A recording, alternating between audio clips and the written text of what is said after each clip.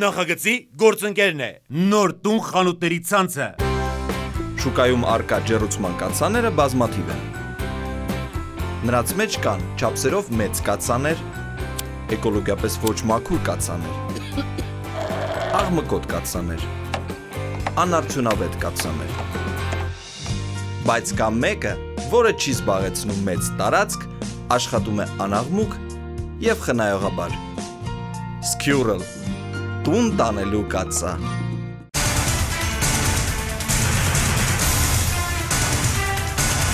Բարի երեկո, ձեզ այդ սուրանկյունն է, որի նպատակը մեր իրականության սուրանկյունները բացահայտելն է։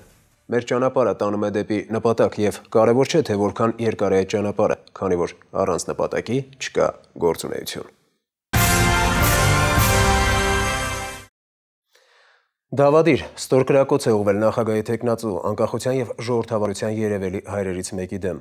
Ինչու։ Ով է համարցակվել կրակել Հայրիկյանի վրա եւ ինչ էր ուզում դրանով ասել։ Այս հարցերը կախված են դեռ։ Պետական քաղաքական գործիչները մահափորձը գնահատել են որպես պետականության եւ ժողովրդավարության դեմ նետված մարտահրավեր։ Նման հաշվենկատ քաղաքական մահափորձի գնալուց առաջ պետք էր հասկանալ, որ անկախությունն ու ժողովրդավարությունը հնարավոր չէ սպանել։ Աշխարհում ոչինչ ու ոչ մի կրակոց չի կարող ստիպել հրաժարվելու հազարամյա երազանքից եւ չի կարող կասեցնել ժողովրդավարության անշարժելի ընթացքը։ Սուրյանկյունը խստորեն դատապարտում է քաղաքական մահափորձը նախագահի տեխնացուի նկատմամբ։ Պարույր Հայրիկյանին մաղթում են առողջություն, արագ ապակինում ու վերադարձ քաղաքական ակտիվ գործունեության։ Իսկ մինչ այդ ներկայացնում ենք մահափորձից անմիջապես հետո արված կադրեր, որոնք ականատեսներից մեկը տրամադրել էր Սուրյանկյանը։ Կադրեր, որոնք դիտելուց հետո շատեր իրենց հարց կուղեն։ Հանուն տեսացի եւ ի հեճուկս տականքների չարժե արդյոք պայքարել անկախության եւ ժողովրդավարության արժեքների ամրապնդման համար։ Ապա մի ձեր տվեք։ Մի խառնվի իրար։ Չեմ ասում ավելի բարձ։ Դիմավորում եմ։ Խառնվեկը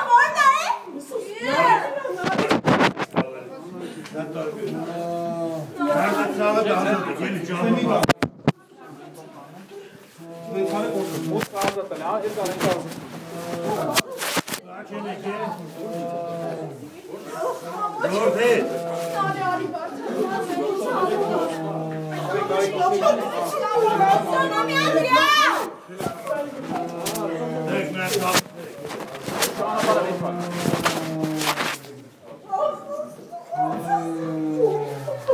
է։ Ոս կազատել, հա, ես արենք ազատ։ Սոնամի Անդրեա։ Դիմացի, բարը, դիմացի, ոչինչ, ոչինչ։ Բան չկա։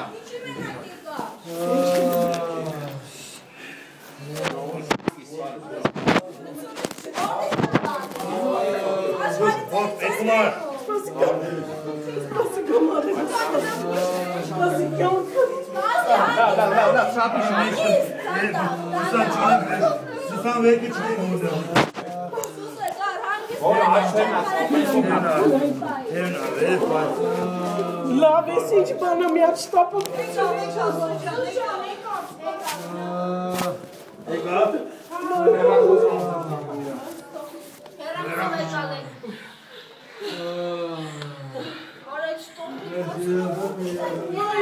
Վախեր բան չունեք, այս դեպքից հետո մենք ունենք դեր համանից տեխնատների համար։ Մարդ պիտի վախենա միայն Աստծուց։ Եթե դու Աստծու հանդեպ սխալ բաներ չես անում, վախենալու շատ բան չունես։ Այն պահին իհարկե շատ տհաճ էր որ տեսա բանը, բայց այդ վախ չէր, այլ հասկացա որ վերջ վերջն է, ինչ որ այդ նույնիսկ ոնց որ երևի դրա պատճառով ուժեղ այդ գոռացը ինքն էլ երևի անակնկալի եկավ, բայց ոչ թե վայ բան այդ չէ, ոք ու կարակոցն եղավ, երևի այդ բա փրկեց։ Այդ ստեղից մտնելով ես կողմից դուրս գալով ոչ մի բան չվնասելով, նշանակում է վերևից քեզ օգնողներ կան։ Դերևս անցած գարնան վերջից գյուղացիները սկսեցին ահազանգել խոտի պակասի եւ դրա պատճառով հնարավոր թանկացումների մասին։ Նրանց կանխատեսումներն իրականացան։ Խոտի 1 տուկի գինը 1000-ից 1200-ից հասավ 1700-ից 2500 դրամի։ Եթե անգամ գինը չէին բարձրացնում, փոքրացնում էին տուկը շահույթ ապահովելով։ Սակայն խոտի գնի բարձրացումը կանխելու նպատակով ինքը սարքելու տեղը աչքնել հանեցին։ Վիճակից օգտվեցին ցորեն ներկրողները, ալյուր արտադրողները, չէ որ ցորենի մշակման վերջնարդյունքներից է նաև թեփը։ Դրա գինը 1 տարում աճեց ավելի քան 2 անգամ։ Եվ որքան էլ ալրաղացներում նշում են, թե թանկացումն օբյեկտիվ պատճառներ ունի, միջազգային բորսաներում ցորենը որոշակիորեն թանկացել է, դժվար է հավատալ նրանց, քանի որ թեպի գինը անհամաչափ է բարձրացվել։ Հակամա մտածում ես, որ տնտեսվարողները ուղակի փորձում են առավելագույն օգուտ քաղել իրավիճակից։ Եթե չկա խոտ, այն գյուղացիները փոխարինում են հիմնականում թեփով։ Անասնակերի գնի աճը ուսումնասիրել ենք լորի, արմավիրի եւ կոտայքի օրինակներով եւ ողրզել նաեւ, որ գյուղացիները բողոքում են ոչ միայն թանկացումից, այլև որակից։ Պարզել ենք նաև, որ անասնակերի արտադրությունը որևէ կերպ չի վերահսկվում։ Թե ինչպես ստեղծվեց իրավիճակը եւ ինչի կարող է հանգեցնել Շուշանիկ Միրզոյանի թեփ կերածից ինչ ակնկալես տեսանյութը։ Մեկուկես տարում մեկ պարկ թեփի գնի բարձրացումը 1300-ից 5000 դրամի աննախադեպ էր։ Բարձր լեռնային շրջաններում դրան գումարվեց խոտի պակասը, այն եւս թանկացավ եւ այժմ մեկ տուկը վաճառվում է մինչեւ 2500 դրամով։ Զանգվածային մորթ սկսվեց Կոտայքում, Լոռիում, Շիրակում, Արագածոտնում։ Գերը թանկա։ Ինչքանով եք հիմա։ Խոտը մի 20 կիլոնոց տուկը առնում ենք 1700-ից 1500 դրամ։ Էմբի մեշոկը 25 կիլոն 5000 դրամ։ Նախկինում ինչքան էր։ 2.5 1008, այդ ձեր բարձր։ Այսինքն դուք կոմբիկեր թեփ չեք առնում։ Թեփ չէ, թեփ ոնց առնեմ 4000 դրամ է, մեշոկը 20 կիլո ոնց կարաս առնել Երևան պայս ապրես։ Դա վերացնել ենք 100% ոչ մի չկա։ Իսկ մսի գինը բայց սենց է ժանացավ ավելի լավ, չի։ Եվ ամիսի գինը ժանամա թող թեփնել է ժանանա։ Ցորենը գայնել է ժանանա։ Մենակ գյուղացու ապրանքն է ժանանում։ Որոշ գյուղեր հարկադրված անցան ավելի անորակ սննդային արժեք չունեցող ծղոտի։ Կենթանին չի սատկում, բայց միսուկաթ էլ չի տալիս։ Հարցին ժամանակավոր լուծում տրվեց։ Գարի եմ ցանածել։ Ես այդտեղ 4000 տյուկ սալոմ եմ հավաքել։ Այսինքն ձեր սալոմով ու ձեր գարիով եք պահում։ Խոտել եմ մի քիչ հավաքեմ 2000 տյուկ, դե բայց 70 գլխի համար դա շատ քիչ է։ Ծղոտով ենք լրացնում խոտի պակասը։ Ծղոտը ուրեմն հիմնականում ծավալային կեր է, ծավալային կեր է, դա այդպես ասենք իր մեջ սննդարար արժեքներ չունի։ Դա գոյատևելու միջոց է։ Եթե խոտի գնի բարձրացման պատճառը հասկանալի է, եղանակներ անբարենպաստ, ապա ցորենի թեփի թանկացումը դժվար է բացատրել։ Որոշեցինք ճշտել հենց արտադրողներից։ Սկսել են լավ որակի ցոր են բերել, դրա պատճառով թեփ քիչ է առաջանում ու դրա համար էլ գինը բարձրացել է։ Ալումինի մի տեսակ այդ գինը ռազմավարական նշանակություն ունի։ Հնարավոր է նաև այն մարդիկ, ովքեր որ ալու են արտադրում, իրանք իր վնասով աշխատեն, ոչ թե հնարավոր է տենց վնասով, բայց հիմա այդ թեպի հաշվին գոնե ինչ որ մի քիչ վերականգնեն վնասը։ Լավորակ ցորենի ներկրումը կամ պետք է բերեր գների թանկացման, կամ էլ պետք է ներկրման ծավալը նվազեր։ Վիճակագրությունը փաստում է, ոչ մեկն է եղել, ոչ էլ մյուսը։ Այնպես որ խոտ չկա, ուրեմն թեփ ավելի շատ կգնեն։ Մտածել են արտադրողները եւ թանկացրել արտադրանքը։ Սակայն գնի բարձրացումը գյուղում այդքան ցավագին չէին ընդունի, եթե պահպանվեր անասնակերի որակը։ Էս այն կոմբիկերն է, որին չեն մոտենում անասունը։ Ոչ մի բան, էսի մենք քծում ենք անասունելու տակ, մի հատ սնունդ չկա մեջ կա անասնակերի որակը ստուգելու մի քանի པարս ձև։ Եթե խոսքը թեփի մասին է, դրա մեջ ալերախառն զանգված պետք է լինի։ Եթե կոմբիկերի մասին է, այն տհաճ հոտ չպետք է ունենա։ Այնինչ գյուղացիները հաճախ նախապատվություն են տալիս էժան գին ունեցողին։ Իսկ անասունը հրաժարվում է մոտենալ այդ կերին, արդյունքում ամբողջ անասնակերը թափում են։ Այ եթե անորակը դու կավարիչները, հա, երբեքիներով մշակված լինի, Հեփեքի դու այդ որն է։ Մոտ չկա։ Ու այդ հակասնկային բաներով։ Հա հասկանում եք որ հոտ է գալու դրանի միացություն է չէ համակցվածքերը տարբեր բաղկացուցիչների ու Հա կարա չի տեսնես եգիպտացորեն կա մեջ է, գարի կա մեջ է, ցորեն կա մեջ է, թեփն էլ կարելի է տեսնել, եթե ապիլկայի մասին է խոսքը։ Բայց խնդիրը ինչու՞մն է, որ ճիշտ պատրաստված համակցված կերը չի։ Ինքը չի կարող ուղակի շատ էժան լինել։ Հայաստանում թեփի եւ համակցված կերի, կոմբիկերի որակը պետք է որ ստուգեր սննդի անվտանգության պետական տեսչությունը, սակայն ոլորտում պլանային ուսումնասիրություն չի կատարվել։ Անաստանկերի որակը ստուգվել է, ասենք, պանրի, ձվի անորակության պատճառները հասկանալու համար։ Թշնամության ստուգելիս ոչ միայն փորձակնվում է ձուն ու թշնամիս, այլ նաև այն կերը, որից օգտվում են համապատասխան թռչունները ձու եւ դա թշնամիս տալու համար։ Ինչն է եղել հիմնական խնդիրը, ինչ խնդրեմա է Եթե չեմ սխալվում, մի դեպքում ծանր մետաղ եղավ, մի դեպքում ռադիոնուկլիդ։ Տեղական արտադրության անասնակերի որակը համապատասխանել է բոլոր չափորոշիչներին, ներկրվողինը ոչ միշտ։ Անաստակերի դեպքում 860 դեպք ենք ունեցել անցած տարի, երբ չեն եղել այդ փաստաթղթերը եւ անասնակերը մտել է ստուգում այս թե ու հիմնականում պետք է ասեմ որ թրջնամթերք եւ ձկնամթերք արտադրողներն են տեղական որ իրականացնում են ներկայում անաստակերի հետ կապված եւ մի քանի դեպք ընդհանրապես եղել, որ ապրանքը չի մտել հանրապետություն։ Այսօր անասնակեր արտադրողների մասին տեղեկատվական բազա է ստեղծվում։ Ստուգումները կսկսվեն մինչև տարեվերջ, սակայն անգամ եթե տեսականորեն դրա միջոցով անասնակերի որակը վերահսկելի կդառնա, գինը միշտ էլ կորոշվի պահանջարկ առաջարկ հարաբերակցությամբ։ Թանկացման միտումը կպահպանվի, որպես ապացույց նշենք, որ մինչ տեսանյութը պատրաստվում էր, թեփը հերթական անգամ թանկացավ եւ որոշ տեղերում այսօր վաճառվում է ոչ թե 5000, այլ 6000 դրամով։ Մեկ պարկը։ Շուշանիկ Միրզոյան, Զոհրաբ Խարամյան, Հովանես Չապարյան, Սուրանկյուն։ Գեղեցկությունը զոհեր է պահանջում հայտնի արտահայտությունը ունի փոխաբերական իմաստ, սակայն առավել գեղեցիկ երևալու համար կանանց կոսմետիկ միջոցներ օգտագործելու հետևանքներն ուսումնասիրելիս բարձում ես, որ այդ արտահայտությունը ունի նաև ուղիղ իմաստ։ Կոսմետիկ ինչ միջոցներ են օգտագործում մեր կանայք։ Հիմնականում ոչ թանկարժեք, ասել է թե կասկածելի որակի։ Որոշ մասնագետներ փաստում են, որ շրթներքերի 65%-ը պարունակում է ծանր մետաղներ, եւ դրանք կուտակվելով օրգանիզմում տարիների ընթացքում առաջացնում են անբուժելի հիվանդություններ։ Մազի ներկեր, տարատեսակ քսուկներ, լոսյոններ, մատիտներ, այս ամենը մեր կանայք օգտագործում են, անտեսելով դրանց վնասակարության հետևանքները։ Հաճախ նաև չեն էլ ենթադրում, որ առողջության վատթարացումն ասենք ոչ թե սննդի, այլ հենց կոսմետիկ միջոցների հետ է կապված։ Հերմինե Բաղդասարյանի տեսանյութի հերոսներից մեկը օգտագործել է մազի գունաթափման միջոց։ Որոշ ժամանակ անց տեսել է, որ վնասվել է գլխամաշկը, այտուցվել դեմքը եւ զգացել է, որ շնչառական խնդիրներ ունի։ Միայն բժիշկների շտաբ միջամտությամբ է հաջողվել փրկել կնոջ կյանքը։ Հայաստան ներկրվող կոսմետիկ միջոցները սերտիֆիկացում չեն անցնում։ Ներկրողն իր հայեցողությամբ կարող է դիմելու սերտիֆիկացնել ապրանքը ժամանակ նյարդեր ու գումար խնայելու համար կարող է այդ ամենը չանել ու պարզապես վաճառքի անել այն կոսմետիկան, որը քիմիական վտանգավոր տարեր կարող է պարունակել։ Այժմ առողջությունն ինչ, տեսքս է կարևոր, տեսանյութը։ Սա իբր բուժիչ շրթներկ է, որն ի դեպ վաճառվում է դեղատներում։ Վրան էլ գրված է. Լավագույն կոսմետիկան պատրաստում են դեղագործները։ Իսկ ահա բաղադրությունը սարսափեցնող, պարունակում է նավթամթերք, պարաֆիններ եւ քիմիական այլ տարեր։ Հետաքրքիր է ինչ բուժման մասին է խոսքը, եթե սրանում արկա նյութերը կոսմետիկայում օգտագործվող ամենավնասակարներից են։ Երկար ժամանակ մեր հերոսը հրաժարվել է կոսմետիկայի միջոցներից, աչքի սևաներկի պատճառով կարող էր զրկվել տեսողությունից կոպերս լրիվ փակվել էր, աչքերս չէի կարում 3 օր բացեի։ Ահագին երկար բուժումներ ստացա։ Չի խրատվել, հաջորդ անգամ էլ գայթակղվել է իբր ֆրանսիական շրթներկով ու նորից տուժել, դեմքն է այտուցվել։ Գնեցի 5000 դրամով,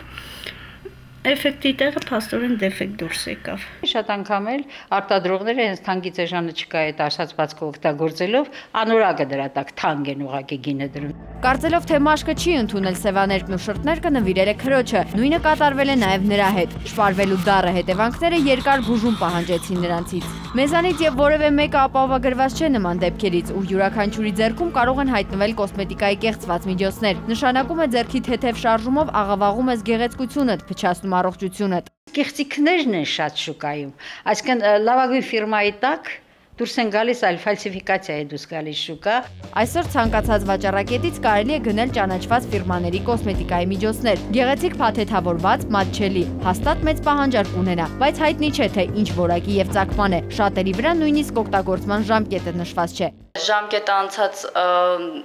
կրեմներ, քսուկներ ընդհանրապես չի կարելի օգտագործել, առնելիս պետք է ուշադրություն դարձնել, պետք է գրված լինի կամ 12 ամիս օգտագործել կամ 6 ամիս օգտագործել։ Իսկ սերտիֆիկացման մասին ավելորդ է խոսել։ Չգիտես ինչու, պետք է հավատաս վաճառողի խոսքին։ Ապրանքը, ինչպես ասում են, ինքն է։ Ոնց իմանանք, որ իսկականն է։ Կամ հավատակ, կամ չհավատակ։ Չկա սերտիֆիկատ կամ ինչ որ հաստատ ձևավորում չեն թե վաճառ։ Սրա ժամկետը չգտանք, չէ՞։ Լավ։ Այսինքն ոչ մեկի վրա չկա ժամկետ։ Օրիգինալներն են սրանք։ Ոնց ոնց կարանք իմանանք համոզվելու համար։ Ես ասում եմ, եթե հավատում եք, եթե չէ, արդեն տեսնենք։ Յանը որ սերտիֆիկատ եղավ, ինչ անենք։ Պետք է շատ-շատ դեր իրավունքները պահանջեք, ասեք, տեսեք ինչ եք անում։ Իդեպ, եթե մի ժամանակ կոսմետիկա ներմուծողը ապրանքը պետք է սերտիֆիկացներ սահմանակետում ու նոր հատեր սահմանը, ապա հիմա այն տեղափոխվել է իրացման փուլ։ Այսինքն սերտիֆիկացումը պարտադիր չէ, իսկ շուկա մտնելուց հետո իրացնողներից թերևս քչերին է հուզում անվտանգության սերտիֆիկատը։ Կարևորը ապրանքի պահանջարկը կա։ Ռիսկային գործոնը կա։ Հիմա ասենք չգիտենք որտեղից ինչ կմտնի, ոնց կլինի ով է ստուգում, ինչ է անում, ասենք այդ հարցերը մի քիչ բացել։ Ստանդարտների ազգային ինստիտուտի փորձաքննության լաբորատորիայում դժվարանում են ասել, թե վերջին անգամ երբ են կոսմետիկական միջոցների փորձաքննության պատվեր ստացել։ Հետաքրքիր է, որ մեկն ավելորդ ծախս կանի ու ապրանքը կտանի փորձաքննության, եթե նույնիսկ դրա բացակայության համար տուգանք նախատեսված չէ մեր մենտալիտետի հարցն է մարդը արդեն մտել է շուկա Հայաստան նրանից հետո հնարավոր է տարբեր խորամանկություններով քիչ սերտիֆիկատներ Միջդեռ արտերկրում սերտիֆիկատի բացակայության դեպքում ոչ միայն տուգանքներ են նախատեսված այլև խոշոր ընկերություններ են փակվում Լաբորատորիայում փորձաքննության տվեցինք կոսմետիկայի մի քանի նմուշ նախ փորձարկվում է դեմքի տոնային սուկը ստուգվում է ջրասնային ցուցանիշը դրա շատի ու քչի դեպքում դեմքի մաշկը կարող է քայքայվել արդյունքը ված չէ բայց կա մեկ այլ խնդիր Ձեր մաշկազի հիմնայինի հանդեպ գրգռվում Դες պետք է թթվայի։ Պետք վրա գրված լինի։ Թե pH-ի իշկան, ջրածնային ցուցիչի գործակիցի իշկան աստեղ, որը այստեղ նայում չկա նշված։ Ստուգվեց նաև քսուկի խոնավությունը։ Ջրի քանակը պետք է լինի 8-ից 75%։ Զարմանալի է, բայց դրա պատասխանը մասնագետի հավաստմամբ եւս դրական է։ Այն դեպքում, երբ նույն քսուկը այնքան պինդ էր, որ սեղմելով հազիվ էր դուրս գալիս։ Դրանում թունավոր տարեր եւս չհայտնաբերվեցին, չնայած որ բաղադրությունը միայն քիմիական էր։ Դրա բաղադրիչները չեն ստուգվում, քանի որ սանիտարական նորմերում նախատեսված չէ։ Մենք ոչ թե բաղադրությունն ենք ուսումնասիրում, այլ անվտանգության ցուցանիշները։ Իսկ ահաբաղադրության մեջ հնարավոր են հարյուրավոր ալերգեններ ու քիմիական նյութեր, որոնք կարող են ճակատագրական լինել ծանր վիճակի մեջ հայտնվեցի, շտապ օգնությունով ինձ տեղափոխեցին հիվանդանոց։ Տիկինը խանութից գնել էր մազի գունաթափիչ օգտագործելուց 10 րոպե, հետո գունաթափիչն իր սև գործներ արել։ Շնչահեղձ էի լնում, ոնց որ թթվասնի քաղց առաջանար։ Չէի կարող շնչեմ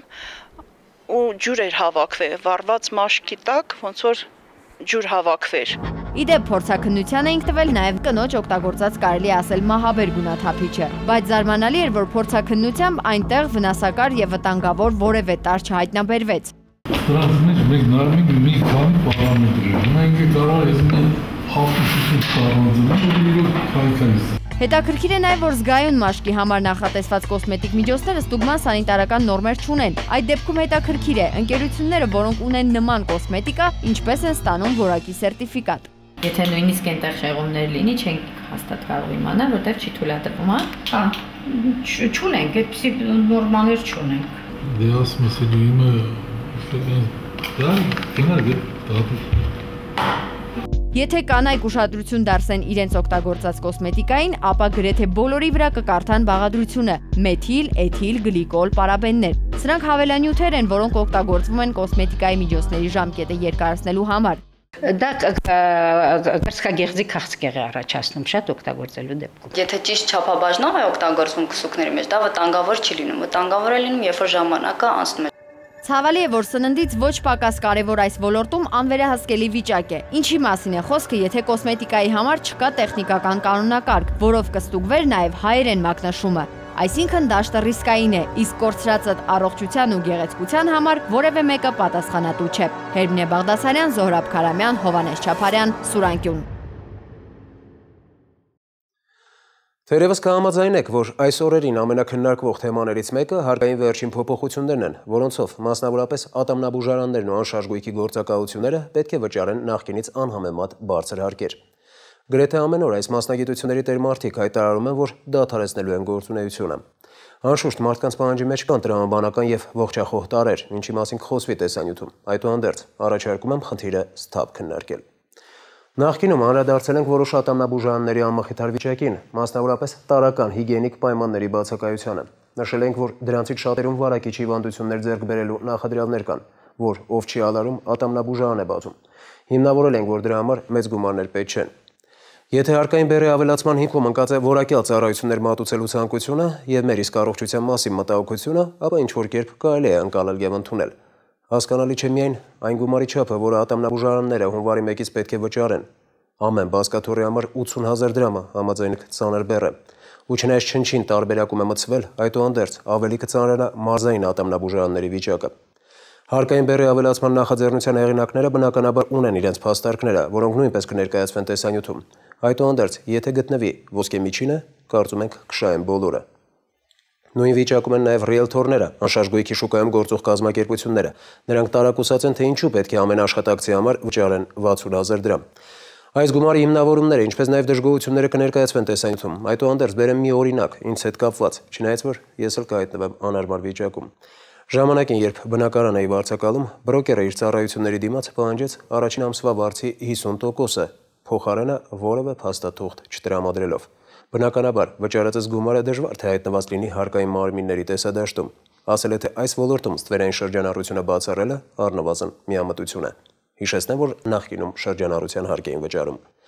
Գիտենք նաև, որ մեզանում յուրաքանչյուր սթափ վերլուծություն, սա ուն վերածվում է թեժ խոսակցության, որ շատերը կասեն, իսկ օլիգարխներն ամբողջությամբ գործում են հարկային դաշտում, սկզբից թող նրանց դարձի բերեն, հետո ընկնեն մանր եւ միջին բիզնեսի հետևից։ Գուցեև ճիշտ լինեն։ Սակայն է մի բան, բոլորը պետք է կատարեն պետության արչև ստանձնած պարտավորությունները։ Նելի Հարությունյանի օրենքը օրենք, բայց ապրել է պետք տեսանյութը։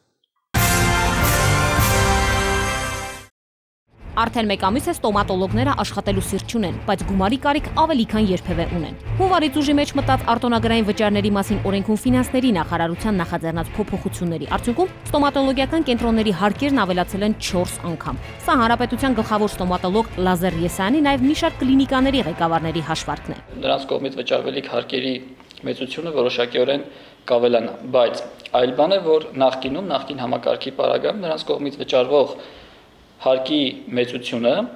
մեր կարծիքով համարժեք չէր ոլորտի տնտեսական ակտիվությանը կամ ոլորտում ձևավորվող շահութաբերության մակարդակին։ Համաձայն փոփոխությունների այսուհետ ստոմատոլոգիական յուրաքանչյուր բասկաթոռի համար պետք է վճարվի ամիսը 80000, 3-ից ավելի յուրաքանչյուր աթոռի համար 48000 դրամ։ 80000 դրամ նաև յուրաքանչյուր ատամնատեխնիկի աշխատատեղի եւ նույնքան էլ ռենտգեն սարքի համար։ Ըստ ստոմատոլոգների նոր իրականության տրամաբանական շարունակությունը մեկն է՝ գնացուցակի վերանայում կամ լուծարում։ Տարբերությունը շահութարկից միանգամից հաստատագրված շատ կտրուկ էր։ Միանշանակ թանկացումը անխուսափելի է լինելու։ Մենք համարում ենք, որ սահմանված դրույքաչափը բավական խելամիտ է եւ օրինաչափ։ Արտոնագրային վճարի մասին օրենքում փոփոխություններ մշակելու աշխատանքներին առողջապահության նախարարությունը ներգրաված չի եղել։ Փոփոխությունների հեղինակը գերատեսչությանը միայն սիրալիր տեղեկացրել է ստոմատոլոգիական բասկաթոռները հարկելու այլ գումարի մասին՝ 30000 դրամի։ Սակայն Առողջապահության նախարարությունից ֆինանսների նախարարություն ճանապարհին 30000-ը դարձել է 80000, իսկ խորհրդարանում ընդཐུպ առաջարկներ են եղել այդ գումարը հասցնել 100000 դրամի։ Այ առողջապահության նախարարությունը այդ 30000-ի մասին է տեղեկացված եղել եւ դրա համար է ստորագրվել։ Սույն նախագիծով ներկայացվել է տարբեր շահագրգիռ մարմինների քննարկմանը, այդ թվում առողջապահության նախարարության։ Չէ, քննարկումներ չի եղել։ Հետեւաբար հարց է ցակում, թե ում հետ են քննարկել։ Գլխավոր մասնագետն առողջապահության նախարարության քննարկում չի եղել ասոցիացիաների նախագահներ ունեն 3-4 հատ չի եղել։ Գլխավոր ստոմատոլոգ Լազար Եսայանին հատկապես մտահոգում է, որ հաշվի չի առնվել մանկական ստոմատոլոգիան, ուսումնականը, տեխնիկական լաբորատորիաները, սկսնակ մասնագետներին։ Բացառություն չեն նաև բարեգործականները։ Արդեն կան կլինիկաներ, որ փակվել են։ Մեծ փոքր էական չի։ Այսօր կլինիկաներ կա, որտեղ արդեն տեխնիկները դուրս են եկել աշխատանքից կամ եղել են կարճատումներ Եթե բժիշկը չաշխատեց, եթե կլինիկան փակվեց, եթե բասկաթոռը չաշխատեց, բուժքույրերը, սանիտարը,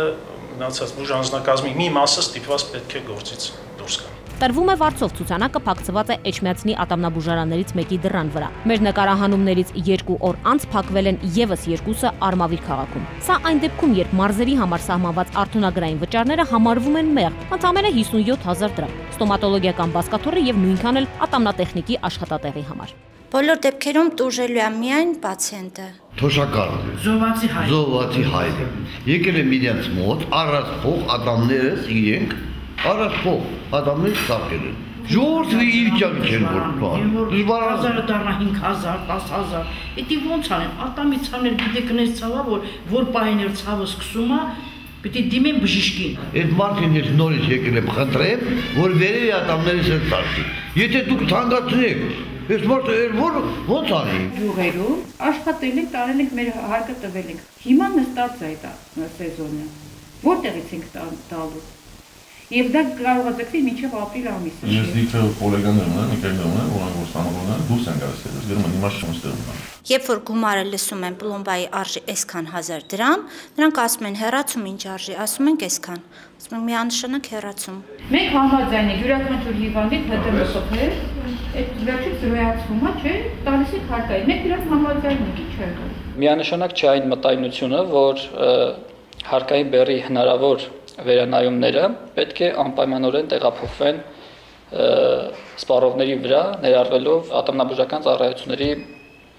գների մեջ։ Մարզերի ատամնաբուժարաններում խոստովանում են, որ այսպես ասած միսիայի ցուցակներ ունեն։ Ցույց չեն տալիս գրանցված պացիենտներին չվիրավորելու համար։ Գալիս ասում են գոնե կլինի, այսքանը վճարենք, Ուշագրավն այն է, որ խնդիր դրված չէ վերահսկել ու կանոնակարգել այս ոլորտը, որտեղ թերություններն իսկապես շատ են։ Նպատակը մեկն է՝ կլինիկաների շրջանառության իրական ծավալի ստվերային մասը հիմնականում անօգուտ վերահսկելու փոխարեն կիրառել արտոնագրային վճարներ եւ պետբյուջե ակնկալվող մուտքերն ավելի կանխատեսելի դարձնել։ Այդ ընթացքում կասկածելի որակի ստոմատոլոգիական ծառայություններ մատուցողները կշարունակեն աշխատել եւ գուցե ավելի բարձր գներով։ Վատորակը կարող է գիներ չբարձրացնի կամ չնչին ինչ որ մի 10%-ի կամ 5%-ի չափով նա միևն է իր արագությունը եւ անորակ սպասարկումը շարունակելու է։ Ոչ մի չի փոխելու դրանից։ Սա ավելի շահեկան դիրքերում կլինի։ Երևի թե այդպես է ստացվում։ Որակի հարցում ենք խնդիրներ ենք ունենալու։ Այո, մենք ակնկալում ենք, որ այս համակարգի վերանայման մենք հնարավորություն կունենանք նաև բացահայտելու որոշակի ստվերային շրջանառություններ։ Եթե ստվեր ստվեր, այս պարագայում էլ կարա ստվեր լինի։ Ոչ միայն ատամնատեխնիկը, ինչու՞ չէ, նաև բժիշկները բոլորն էլ փորձելու են ստվերային ինչ-որ կերպ աշխատել։ Հուսանք, որ ատամնաբույժի ծառայությունները մեր երկրում այնքան չեն թանկանա, որ ստիպված լինենք օգտվել համացանցում եղած տեսանյութերից, որոնք սովորեցնում են ինչով եւ ինչպես լուծել ցավացող ատամի հարցը ինքնուրույն։ Զգուշացնում եմ, տեսանյութը թույլ նյարդեր ունեցողների համար չէ։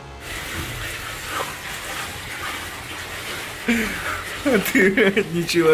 Օրենսդրական վերջին փոփոխություններից պակաս նեղսրտած չեն նաև անշարժ գույքի գործակալությունները, որոնցից նույնպես ակնկալվում են բյուջետային կանխատեսելի մուտքեր։ Գործակալություններն էլ այսուհետ ստիպված են յուրաքանչյուր աշխատատեղի համար վճարել արտոնագրային գումար՝ 60000 դրամ Երևանում եւ 50000 մարզերում։ 60000-ին պլյուս լրացուցիչ եւս սոցիալական վճարումներ, որը որ ну ռուսերեն ասած будет неподъемная цифра։ Պարզաբանումը հետեւյալն է եղել, որ անվերահսկելի է մեր գործունեությունը։ Գործունեությունն է շատ, որը անհսկելի է ընդհանրապես։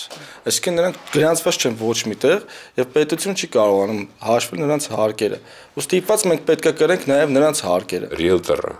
ծախսում է շատ անչափ շատ ժամանակ եւ շատ քիչ գործարք անում։ Նա 4-5 ամիսը մեկ մի հատ գործարք անում։ Բոլորովին վերջերս արտոնագրային վճարի դաշտ մտան նաեւ վարսավիրանոցները եւ հիմա վարսավիրական յուրաքանչյուր աթոռի համար նրանք վճարում են ամիսը 15000 դրամ։ Արտոնագրային վճարների մասին փոփոխված օրենքը ֆինանսների նախարարությունը պատրաստ է վերանայել, եթե իհարկե շահագրգիռ կողմերը ներկայացնեն կոնկրետ կառուցողական առաջարկներ, ոչ թե միանշանակ պահանջեն վերադառնալ հարկման նախկին տարբերակին։ Ազգային ժողովում էլ փաստաթուղթը նորից քննարկվել է մասնագետների հետ։ Լազեր Եսայանը մասնակցել է դրան եւ ներկայացրել բոլոր մտահոգությունները։ Իր տպավորությամբ ոսկե միջինը կգտնվի, թեև օրենքի համահեղինակը այդ տպավորությունը չի կիսում։ Ես կառաջարկեի վերանայվել գումարի չափը Եթե նվազեցում գնար, իհարկե գնացուցակ չի չի բարձրանա։ Եթե անկեղծ պատասխանելու լինեմ, կարծում եմ, որ օրենսդրական վերանայումներ կատարելու անհրաժեշտություն ներկայումս չկա։ Ֆինանսների նախարարությունն ու պետեկամուտների կոմիտեն զգուշացնում են փետրվարի 1-ից ով ճունի գործունեության նոր արտոնագիր համարվում է ապօրինի ձեռնարկատեր։ Նելի Հարությունյան, Հովանես Չապարյան, Զոհրաբ Խարամյան, Սուրանկյուն։ Թողարկման հաջորդ հատվածում դիտեք Այս առանձնատանեկից հողակտորը գարնանը չի մշակվի, բարության չի արվի։ Բարի մարդկանց միջնորդությամբ առայժմ ապրում են իրենց բտնագանձված տանդիմացի գրասենյակում։ Պետք չեմ կարում իր համար անակնկալ տունը դրել էին աճուրդի եւ վաճառել ծիծաղելի գնով։ Աճուրդի սկիզբը, աճուրդի ավարտը մնացած ժամանակը շատ կարևոր է, ինչքան ժամանակ է մնացել։ Շատ քաղաքացիներ այսօր կանգնած են տները կորցնելու վտանգի առաջ։ Բռնագանձում տարածվելու է գրավի առարկայի վրա։ Արծվի թևերի մոտ բացում է թևերը, բայց ցավոք նրա տեսողությունը արծվի չի լինում։ Կարելի է վստահ բան ասել, որ նրանց կյանքը փրկել է ամրակոծը։ Փորձեցի 1-2 կադր անել, չմտածելով թե ինչ քյալակա գալու գլխից, ու եղավ այն, ինչ եղավ։ Ելույթ մի ունեցի այդ տղա։ Ելույթ Զաս Վթարից հետո համարները իրենք իրենց փոխվելով թռան ձորը, ու միտս եկավ մեր բակի հայտնի երգը։ Համարները հանենք իշնենք ձոր Քաղաքացիները հրշեջներ էին, հրշեջները փորձագետներ։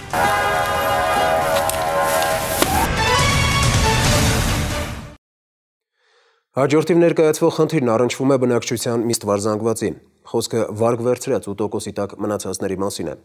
Ամիսներ առաջ անդրադարձել են գյուղատնտեսության ոլորտին, նշել, որ անբարենպաստ եղանակի պատճառով շատ գյուղացիներ բերքից գալի մասը կորցնելով ակնկալվող եկամուտը չէին ստացել։ Սերմացո, պարարտանյութ ձեռք բերելու, վարուցանքի եւ ոռոգման համար գրավադրելով իրենց տները, վարկ են վերցրել եւ չեն կարողանում այն մարել։ Թեպետ բանկերի եւ վարկային կազմակերպությունների գործունեությունն ուսումնասիրության առանձին թեմա է, սակայն չխոսել դրանց մասին թեկուսը պանցիկ չեն կարող։ Ուսումնասիրում ես փոքր բիզնեսի համար բանկերի առաջարկած վարկերը։ Մինչև 3 միլիոն դրամ 2 տարով 22% տոկոսադրույքով։ Կարդում ես գյուղատնտեսական վարկերի մասին առաջարկները։ Միջինը 18% կան նաև 24% տոկոսադրույքով վարկեր։ Ինչ-ինչ պատճառներով վարկառուն չի կարողանում մարել վարկը բանկը դիմում է դատարան, տունը դրվում է աճուրդի, որոշ ժամանակ անց գյուղացին մնում է անօթևան։ Նույն ճակատագրին են արժանանում նաև մի շարք քաղաքաբնակներ վարկով գործ սկսելու անաջող փորձերի հետևանքով։ Մոտ 1 շաբաթ առաջ ԴԱԿ-ծառայության պետը ասուլիսում անդրադառնալով վարկերը մարել չկարողացող գյուղացիներին բերել էր Արմավիրի մարզի Արազապ գյուղի օրինակը։ Մոտ 300 տուն ունեցող գյուղի բնակիչներին վերաբերող 182 կատարողական թերթ կա արկադիրում։ Կարծում եմ մեկնաբանություններն ավելորդ են։ Ինչ անել եւ որն է ելքը։ Թեման ուսումնասիրելու հարցերի պատասխանները փնտրել է Արմեն Աթալյանը։ Ներկայացնում եմ տուն կամ ապրուստի միջոց տեսանյութը։ Այս առանձնատանը կից հողակտորը գարնանը չի մշակվի, բարուցան չի արվի, նախկինում ծաղկուն այս վայրը կմնա ամայի։ Առանձնատնից էլ երևի երկար ժամանակ դեռ մարդկանց զայներ դուրս չեն գա։ Տերերը ժամկետնանց պարտավորություններ ունեն վարկային կազմակերպության առաջ եւ տունը աճուլդով վաճառվել է։ Տան նախկին տերերն են Ջեմա եւ Սերոժա Գևորքյանները։ Բարի մարդկանց միջնորդությամբ առայժմ ապրում են իրենց բտնագանձված տան դիմացի գրասենյակում։ Ամեն օր տունը տեսնելիս սրտների ծարյուն է կաթում։ Մենք ընտանիքով 14 շունչ ենք։ 4 4 անչափահաս երեխա օֆիսում մի սենյակ վերցել ենք, մնացել ենք, մնացածը ցվրված է կողմ են կողմ։ 70 տարեկան կնիկ մարդու կնիկ քրքրվեր ենք, տանջվել ենք։ Սարքեր ենք, այսօր անոնն լիներ ենք փողոցները, բայց չեմ կարում։ Ամեն ինչ սկսվեց անցած տարի 3 միլիոն դրամի վարկը, որը վերցրել էին վարկային կազմակերպությունից հող մշակելու համար, կիսով մարել էին տոկոսների հետ, սակայն բերքը փչացավ եւ մի քանի ամիս չկարողացան մարել պատկը մենք միամիտ մնացինք, հավատացինք իրենց խոսքին, որ դուք գումարը բերեք, հարց չկա, ձեր տունը կմնա ձեզ 1 միլիոն 700 հազար հիմնական մար գումարից ենք մուծել, 1 միլիոնից ավել էլ 1 միլիոն 200 տոկոսներն ա կազմել։ Մուծել ենք լրիվ համար են վերցրել։ 1 միլիոն 200 1000 դրամի համար է վերցել։ Սերոժա Պապի խոսքով վարկային կազմակերպությունում իրեն հույսով արին, որ ամեն ինչ լավ է լինելու, սակայն իր համար անակնկալ տունը դրել էին աճուրդի եւ վաճառել ծիծաղելի գնով։ Մեզնից պահանջում է 35000 դոլար։ Ով։ Այդ առնողը։ Իսկ ինքը 2 միլիոնով առել է 30 2 միլիոնով առել է, այսինքն 5000 դոլարով առել է։ 35000-ով ուզես, դեր ասում դրանց են քվանվան։ Ու ման են գալի, որ գնորդ ճարեն, որ վերավաճառեն շահ ստանան։ Փաստորեն Աշալույս գյուղում գյուղապետարանին կից այս 130 քառակուսի մետրանոց տունը իր 2000 քառակուսի մետրանոց հողակտորով վաճառվել էր ընդամենը 5000 դոլարով։ Տան նախկին տերերը այդ գումարից նույնիսկ չեն վերցրել իրենց հասանելիքը։ Հնարավոր էր, որ ամբողջ գյուղը հավաքվեր կոպեկ-կոպեկ մեզ ընթառաջ էր տար, մենք մուծեինք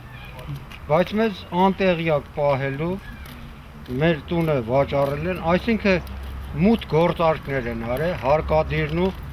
արեկակ կազմակերպությունը եւ գնորդը Այսօր թեժ լոտեր աճուրդում անվանում շինություններ։ Հանրապետության գլխավոր հարկադիր կատարողի իրավական հարցերով խորհրդականը ցույց է տալիս աճուրդի հանված տների ցանկը։ Շեշտում է, վաճառքը կատարում են հստակ սահմանված կանոնակարգով, էլեկտրոնային աճուրդով։ Ցանկացած ոք կարող է մասնակցել դրան։ Աճուրդի սկիզբը, աճուրդի ավարտը, մնացած ժամանակը շատ կարևոր է, ինչքան ժամանակ է մնացել, որից չթողնի, որովհետեւ ամեն ինչ ինքը ավտոմատացված է եւ նկարագրություն է։ Իհարկե կա ցանկ, նայեք լոտացուցակ, շինություններ։ Տվյալ պահին աճուրդային գործընթացում գտնվում են մոտ 101 բնակարաններ եւ բնակելի տներ, որոնցից 85-ը Հայաստանի Հանրապետության մարզերով եւ 16-ը Երևան քաղաքում։ Աճուրդով վաճառվող տների մեծ մասն, ինչպես հասկացանք, գրավի առարկա են բանկերում եւ գրավադրողները հիմնականում մարզերից են։ Գյուղատնտեսական վարկերը ռիսկային են, ասում են մասնագետները, բայց խնդրահարույց վարկերի ծավալն այսօր մեծ չէ։ Մոտավորապես պորտֆելի մոտ 4%-ի շրջանակներում խնդրահարույց վարկեր կան գյուղատնտեսության մեջ։ Այսինքն եթե 100.000 դոլար են վերցրել, նո պայմանական, հա, 4000 դոլարի խնդիր կա։ Ինչ վերաբերում է գյուղատնտեսական վարկերի տոկոսադրույքներին, դրանք բավական ցածր են։ Պարզապես ոլոտն է ռիսկային՝ կարկուտ, երաշտ եւ այլն գյուղացիների տրված վարկերի միջին գումարը գիտեք 500-600 հազար դրամ է։ Այսինքն մեծ գումարներ չեն։ Գյուղացուն ոչ ոք մեծ գումար չի էլ տա։ Մենք նույնիսկ ունենք դեպքեր, երբ որ միջազգային կառույցների մասնագետները ասում են, որ այն տոկոսադրույքները, որ այսօր արկա են շուկայում, չեն համապատասխանում այն ռիսկերին, որ բանկերը կրում են։ Նկատի ունենալով, որ պետք է տոկոսադրույքները ավելի բարձր լինեն։ Խնդիրը բանկերը չեն, այլ վարկային կազմակերպությունները, որոնք մասնագիտացած են գյուղատնտեսական վարկերի մասով, համոզված են տնտեսագետները։ Ոչ բանկային վարկային կազմակերպությունների կողմից կա ճակերտավոր ողջերվածություն, բավարար չափով չի վերլուծվում վճարունակությունը տվյալ անձի կամ անձանց, ովքեր հատկապես գյուղերում, այսինքն նեղություն չեն տալիս, ավելի པարզ ասած, գնալ եւ տեղում ծանոթանալ այն միջավայրին, այն պայմաններին, որում պետք է տվյալ անձը կամ գյուղացիական տնտեսությունը ծավալի գործարար ակտիվությունը։ Կան խոսակցություններ, որ բանկերը հնարավոր է վերաֆինանսավորեն այն ֆերմերների վարկերը, որոնք ունեն ժամկետնանց պարտավորությունները եւ չեն կարողացել սպասարկել իրենց վարկերը։ Առաջարկ կա նաեւ այս խնդիրը լուծել պետական միջոցներով։ Առաջարկում են պետության կողմից փոխհատուցումներ տալ, մարել վարկերը։ Սա նույնպես անընդունելի եմ համարում, ինչու՞ որովհետև այս դեպքում մենք կարծես ավելի խրախուսում ենք անհաջող գործարարներին վերցնել վարկեր եւ ասելով, որ թիկունքում կկանգնի պետությունը եւ ամեն դեպքում կմարի։ Փաստն այն է, որ շատ քաղաքացիներ այսօր կանգնած են տները կորցնելու վտանգի առաջ։ Շատերն էլ արդեն կորցրել են, ինչպես Սերոժապապը։ Մյուս կողմից իրենց բնակարանը կորցնողների մի հատվածը կապել չունի բանկերի հետ։ Հենց վերջինների համար ԴՀԿ ծառայությունը մշակել եւ կառավարությունը ներկայացրել մի օրինագիծ, որով ֆինանսական պարտավորությունները չկատարած պատտապաններին հնարավորություն է տրվում մի շարք դեպքերում պահպանել տունը։ Որ բռնագազման ենթակա չեն նաեւ պարտապան քաղաքացու միակ բնակարանը, եթե բնակարանի արժեքը կամ իրացման մեկնարկային գինը ավելի ցածր է, քան կառավարության կողմից սահմանված բնակապահովման նվազագույն շեմը։ Եթե օրենքն ընդունվի, կառավարությունը կսահմանի բնակապահովման նվազագույն շեմը, որով էլ կառաջնորդվի ԴՀԿ-ն։ Դա այն նվազագույն սահմանն է լինելու որոշակի դրամական չափով, դրամական արժեքով, որը որ բնակարանի իրացվելու պարագայում ինքը լինելու է անձեռնմխելի։ Եթե բնակարանի արժեքը այդ նվազագույն չափից ավելի ցածր է լինելու, նշանակում է բնակարանը ինքը իրացման ենթակա չի լինի։ Եթե բարձր է լինելու, բնակարանը կիրացվի, բայց այդ չափով գումարը կվերադարձվի պարտապանին։ Պետք է նշել, որ օրենքում փոփոխությունը չի վերաբերելու գրավի առարկա հանդիսացող տներին եւ մի շարք այլ դեպքերի, այսինքն նույնիսկ օրենքն ընդունելուց հետո, եթե մարդը պատք է բանկին, նրա գրավադրած անշարժ գույքը կբռնագանձվի։ Գրավի առարկան տվյալ դեպքում սույն նախագծով չի նախատեսվելու այն գույքերի ցանկում, որոնք որ ենթակա չեն լինելու բռնագանձման, այսինքն բռնագանձում տարածվելու է գրավի առարկայի վրա։ Այսպիսով վարկերը մարել չկարողացող եւ տունը կորցնելու վտանգի առաջ կանգնած քաղաքացիների, մասնավորապես ֆերմերների գլոբալ խնդիրներն առայժմ դժվար թե լուծվեն։ Ամենայն դեպս բոլոր կողմերն էլ ճիշտ են յուրովի։ Բանկերը բարեգործական հիմնարկներ չեն, որ անհատույց գումար տրամադրեն, գյուղացին մեղավոր չէ, որ βέρքը փչանում է։ Արմեն Աթալյան, Հովանես Չապարյան, Զոհրաբ Կարամյան, Սուրանքյուն Նախորդ շաբաթ տեղի ունեցավ այն, ինչի մասին անվերջ զգուշացնում ենք։ Խոսքը տեղումների հետևանքով մերկասառույցով պատված ճանապարհների մասին է, որոնք ժամանակին չմաքրվելով դառնում են դժբախտ պատահարների պատճառ։ Եվ ահա, հունվարի 28-ին Infinity Magnus-ի մեքենան դուրս է եկել ճանապարհի երթևեկելի մասից, բախվել երկաթի արկելապատնեշներին եւ կողաշրջվելով հարվածել ծառին։ Մեքենայի ղեկին է եղել Հրազդանի քաղաքապետ Արամ Դանիելյանի եղբայրը, 32-ամյա Արթուր Դանիելյանը։ Բարեբախտաբար նա չի տուժել։ Հույս ունենանք, որ գոնե այս դեպքից հետո Հրազդանի քաղաքապետը հետևողական կլինի, որpիսի այդ տարածքում ճանապարհները մաքրվեն։ Իդեպ կտեսնեք, թե վթարի վայրում հավաքվածներից մեկը անպարկեշտ ինչ արտահայտություններ է անում ճանապարհային ոստիկանի հասցեին, մինչդեռ վերջինը ապահովել է երթևեկության անվտանգությունը։ Մյուս դեպքը, որին կանադառնանք, ստակը այն աշխարհում էլ պետք է տանջվի շարքից է։ Եթե նախորդ թողարկմանը ներկայացրել էինք Մարինա Բորիսովայի արկածները, երբ ոչ սթափ վիճակում վարելով մեքենան հարվածել էր մի քանի մեքենայի, այնուհետև մի իսկական շոու սարքել դեպքի վայրում, նշելով, որ մեզանում նման երևույթները դատապարտել են, այս դեպքում չգիտես էլ ինչ ասես։ Հային ոչ հարիր արարք եւ այս կարգի արտահայտությունները շատ մեղմ են։ Ինչ անուն կտա 45-ամյա Կարեն Սենեքերիմյանի արարքին, որը ծեծելով խեղտամայ արել 75-ամյա հարազատ մորը։ Պատկերացնել անգամ սարսափել է։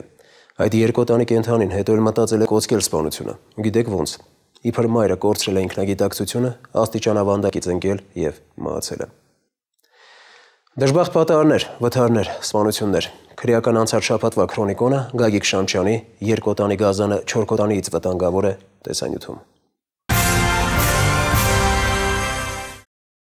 տարին ինչ սկսել է, ամեն ինչ շատ վթարներ տեղի են ունենում կամուրջների վրա։ Հիշում եք, մերկասառույցի հետևանքով ինչ վթար էր տեղ ունեցել Նորաջնի կամրջին, որի հետևանքով Երազի վարորդը տեղափոխվել էր հիվանդանոց։ Անցնող շաբաթ տեղեկացանք, որ ցավոք բժիշկներին չհաջողվեց փրկել նրա կյանքը։ Հերթական ավտովթարն էր տեղի ունեցել Երևանում հայտի Վստրեչի կամրջին։ Վստրեչ էին դուրս եկել Toyota Camry-ն եւ Mercedes-ը։ Ունենց էին իրար դոմփել, որ Mercedes-ը հայտնվել էր հորիզոնական դիրքում։ Ու միշտ ճանապարհային ոստիկանները քննիչի գլխավորությամբ չափուձև էին անում, Քաղաքացիների օգնությամբ շտաբօգնությունը 3 հոգու տեղափոխեց հիվանդանոց։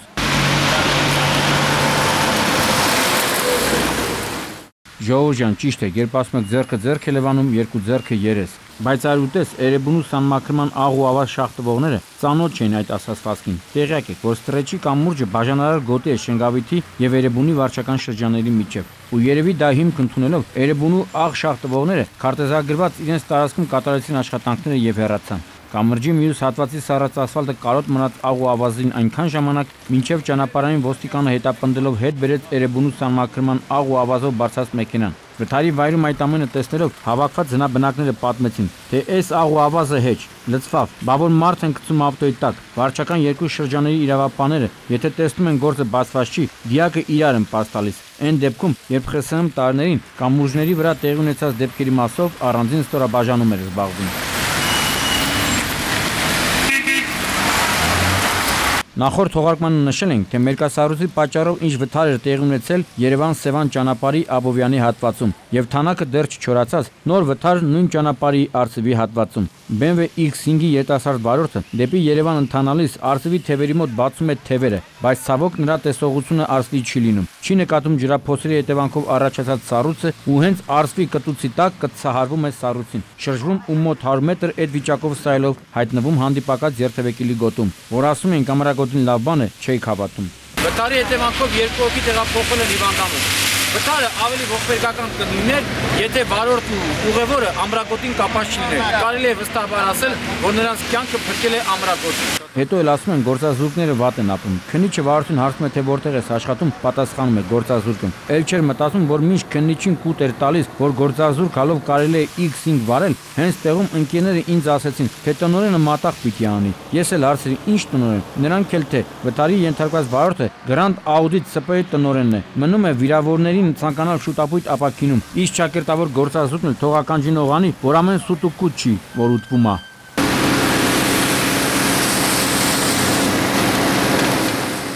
Այն մարդ, այս Հրազդանի քաղաքապետը իրեն երևի վերագրել է Արամ ամեն ինչ կարամ արտահայտությունը։ Տո եթե կարող էր կազմակերպել վարչական տարածքից մերկասառույցի վերացման աշխատանքները, թե չէ էլի պիտի հիշեմ ուրիշի համար փոսփորողը ինքն է փոստընկնում ժողովրդական ասացվածքը։ Հունվարի 28-ին երեկոյան մի իսկական մենամարտ էր տեղ ունեցել Infinity եւ հսկայական մերկասառույցների միջև։ Ու այս դեպքում երկայցյան նժույգը ջախջախիչ պարտություն էր կրել։ Կոտայքի մարզի 32-ամյա բնակիչ Արթուր Դանելյանը Infinity մագնիշի 66 TT 909 համարանիշով դուրս է գալիս երթևեկելի գոտուց, բախվում երկաթյա արգելապատնեշներին եւ կողաշրջվելով թինք տալիս զորակում գտնվող ծառին։ Վթարի վայր է ժամանում վարորդի եղբայրը ոչ ավել ոչ պակաս Հրազդանի մեծն քաղաքապետ Արամ Դանելյանը։ Իմ արցին թե արգելի քաղաքապետ, բա ուր են ավտոմեքենայի համարանիշները, մի անմեղ հայացքով պատասխանեց. Վթարից հետո համարները իրենք իրենց փոխվելով թռան ձորը։ Ու միտս եկավ մեր բակի հայտնի երգը։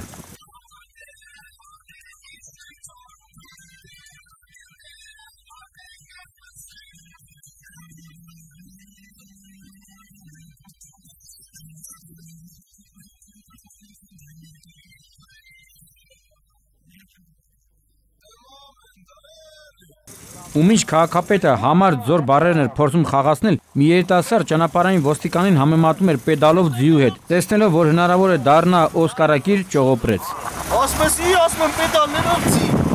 Հարցեր կան։ Հենց ընդ է։ Հենց ընդ է։ Դու ասա հարցեր։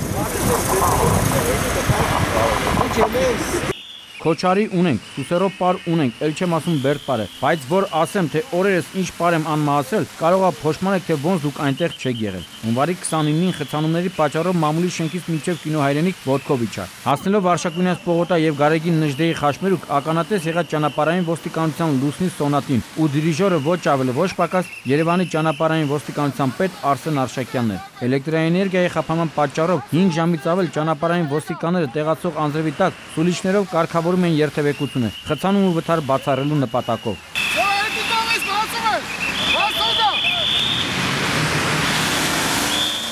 Հրապարակի 4 կողմերում կանգնած գայի տղերքը ոնց որ հայտնի ֆիլմի հերոսները լինեն։ Ռևազի, Ավակի, Պավլեի, Իշխանի օրինակով գոռում էին. Դադարանում գործ ունենք! Դադարանում գործ ունենք! Դադարանում!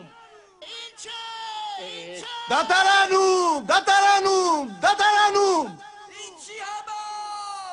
Իսկ Արսեն Արշակյանը այնքան էր տարվել աշխատանքով, որ նրա շարժումներից հասկանում էի, թե այս ջայլ տղեն կինո հայրենիքում նկարանում էր Զիտայի եւ Գիտայի հայկական տարբերակը, բայց հալալ էր տղեկին, որոնց ճիշտ աշխատանքի արդյունքում ճանաչանք վթար եւ խցանում։ Եվ միայն 3 ժամ անց ժամանեցին էլեկտրացանցի փոխկապավոր չինովնիկները ու չկարողացան հստակ պատասխանել, թե որքան ժամանակ անց կվերականգնվի վթարը։ Մինչդեռ այն վերականգնվեց միայն 5 ժամ անց։ Ու այդ ընթացքում հնչում էր միայն ճանապարհային ոստիկանների սուլիշների սերենադը։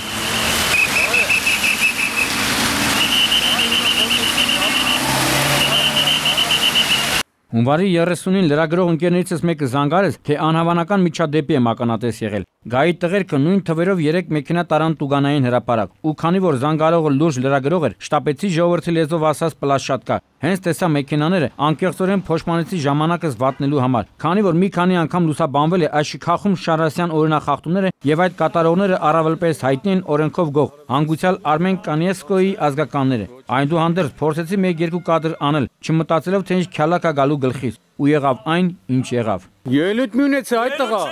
Ելույթ Զազ Այս յետասարդը սկզբում պամ էր քաղաքավարության նորմերը, բայց հետո ստանալով հերախոսազանգ միանգամից կերպարանափոխվեց, բարձրելով նախկին դիմակը ու սկսեց մի իսկական շոու ցուցադրել։ Բայց լավ էր, եւ իր եւ ընկերոջ գարշահոտության աստիճան հասնող արտահայտությունները փորները մնաց, քանի որ Բերման ենթարկվեցին ոստիկանության մալայցիայի բաժին, որտեղ գլխավոր հերոսը Գեղարքունիքի մարզի բնակիչ Ռուստամ Սահակյանը ձերբակալվեց, իսկ երկրորդին դեռ փնտրում են։ Գիտեք ինչի վրա են զարմանում։ Մարկանց թվում է, թե աշխարհն իրենց շուրջ է պատտում։ Իրենք զակազների տակ աշխատելով բոլորին իրենց արշինով են չափում։ Մի անգամ գոնե հայելու մեջ նայեք ու ձեր ականջերին օղ արեք, որ դուք ընդհանրապես ոչ մեկին չեք հետաքրքրում։ Ու այնքան ժամանակ, մինչև կխախտեք օրենքը։ Հետո նորից չզառանցեք, թե զակաս են կատարում եւ այլն։ Սա զարդի բես տեսիով ապերը։ Էդի դու ես բերել։ Զարդնի արի ապեր։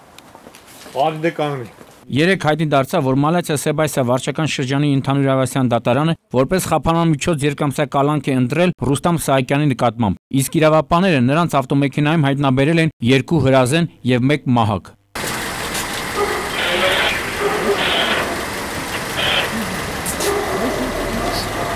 Երևի միայն մեզ մոտ ականատես կլինես, թե ինչպես են որոշ վայ վարորդներ լսելով շտաբօգնության, հրշեջ եւ օպերատիվ այլ ծառայությունների ազդանշանային տու-դու տու-դու ձայնը իրենց դնեն խուլ կաչաղակի տեղ։ Օրերս շտաբօգնության բրիգադը ահազանգ է ստանում, որ 29-ամյա աղջիկը շտաբ պետք է տեղափոխվի հիվանդանոց։ Ու ոչ ավել ոչ պակաս կանչով բժիշկներին տեղափոխում է շտաբօգնության վարորդ Արմեն Մանուկյանը։ Հիվանդին իսկական դեղ հասցնող են։ Բժշկական համալսարանի դիմաց շտաբօգնության մեքենային բախվում է Մերսեդեսը ու վթարի ենթարկված բժիշկներին օգնության է հասնում շտաբօգնության մեկ այլ բրիգադ։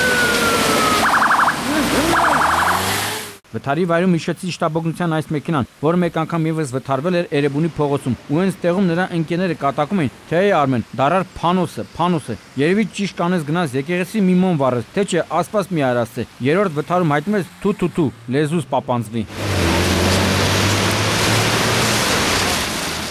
Այս պահին Երևանի քնչական բաժնի աշխատակիցները քնչական փորձարարություն են կատարում, որտեղ ворթին մանրամասն իրավապահների ներկայացնելու է, թե ինչպես է կատարել զարուրելի ոչռագործությունը։ Ժողովուրդ ջան, այս նկարահանումները արված են Մուրացյան 64 տան դիմաց, իսկ ներսում 45-ամյա Կարեն Սենե Քերիմյանը Էրեբունու բաժնի օպերատիվ քնչական խմբին սառնասրտորեն ներկայացնում է իրականությունը։ Իրականություն, որը չի դիմանում որևէ քննադատության ու չի տեղավորվում բանական մարդու ուղեղում։ Ստահակը 75-ամյա մորը դաժանաբար ծեծում է, խեղտամա անում, հետո ոստիկանությանը ահազանգում, թե մայրը ինքնագիտակցությունը կորցնելով վայր է ընկել աստիճաններից եւ մահացել։ Ու մինչ այս հայվանին թվում էր, թե Էրեբունու ոստիկանները իր կուտը կերել են ու հանգիստ կարող է լծվել թաղման արարողություն կազմակերպելու գործին, հաշվի չէր առել, որ ոստիկաններին հայտնի է, թե ինչ մտնոլորտ է տիրել նշված ընտանիքում։ Բայց միշտ հա տանը վիճաբանություն եղել։ Անընդհատ է։ Լակող մարդը ինչ պետք է անի։ Այն մի տղան խելոք է։ Չտեսնված։ Աշխատող անող իր ապարքերը տվող։ Բայց չնեղանակել հիմա Բուրհանին դուք մի հատ պետք է թքի մեր էսի։ Ոչրագործությունից ընդամենը մի քանի ժամ անց Մայրասպանը Էրեբունու օպերատիվ քնչական խմբին պատմում է դեպքի մանրամասները։ Մասնավորապես, որ եղբայրը Գագիկը այդ պայն քնած է եղել, թե ինչպես է սպանությունից հետո վերացել հետքերը, լվացել սանդուղքին ու հակուսին թափված այրունը։ Որ դիրքում ընկավ։ Մեշկի վրա։ Մեշկի վրա ոնց գլուխը որ կողմ ցույց տուր։ Գլուխը ստեղ։ Լավ, հետո ինչ եղավ։ Չմտածել որ կարող է մեկից բացի խեղդում։ Հա։ Ուժեղ սխմել էի կոկորդից։ Ստեղ էր գլուխը այդ ժամանակ։ Հա։ Իդեպ հունվարի 28-ին Էրեբունի վարչական շրջանում տեղի ունեցավ սպանության 2 եւ սպանության փորձի 1 դեպք, ու Փարք Աստծո հաշված ժամերի ընթացքում բոլորն էլ բացահայտվեցին ոստիկանության Էրեբունու բաժնի աշխատակիցների կողմից։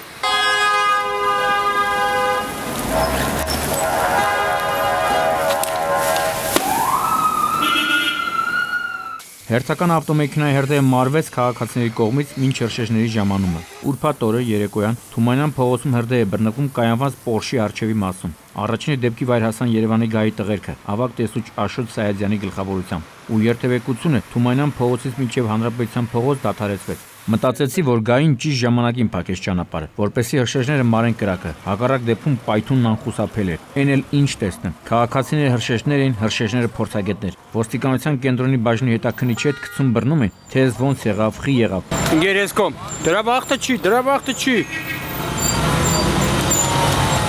Հալալ էր քաղաքացիներին։ Րոպեների ընթացքում կանգնվեց վերահաս պայթունը, ինչից հետո արդեն առած ծխի տակ փրկարարները ծրտին ավտոմեքենայի հովացման աշխատանքներ էին կատարում։ Ինչ ուզում եք ասեք, բայց լավ է, որ մեքենայում կրակը առաջացել է կայանված վիճակում, իսկ եթե վայելու ընթացքում լիներ, վարորդին չէր բրկի անգամ աչքի զառնող 50 OS 500 ծիծակ համարանիշները։ Գագիկ Շամշան, Սուրանկյուն։ Այսքանը սիրենք իրար, քանի որ բարոյական յուրաքանչյուր կանոնի չափանիշը սերն է, ու ամենակարևորը մարդ լինենք։ Դա ամենադժվար մասնագիտությունն է։ Կհանդիպենք փետրվարի 10-ին ժամը 22-ին։ Լույս եւ հոգու ջերմություն բոլորիս։ Նախագծի գործընկերն է Նոր տուն խանութների ցանցը։ Շուկայում արկա ջերուցման կացաները բազմաթիվ են։ Նրանց մեջ կան չափսերով մեծ կացաներ, էկոլոգիապես ոչ մաքուր կացաներ,